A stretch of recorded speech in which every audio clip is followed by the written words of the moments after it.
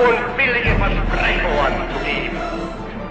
In nun selbst allein liegt die Zukunft des deutschen Volkes.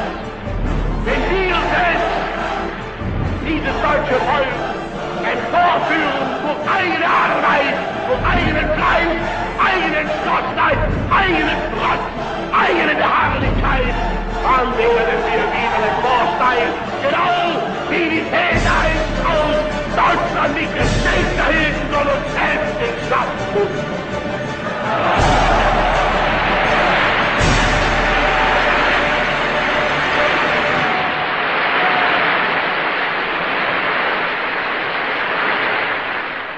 Deutsches Volk, gib uns vier Jahre. Und ich schwöre dir, so wie wir und so wie ich in dieses Amt eintrag, so will ich dann gehen. Ich tat es nicht um Gehalt und nicht um Lohn. Ich tat es um deiner selbst wegen.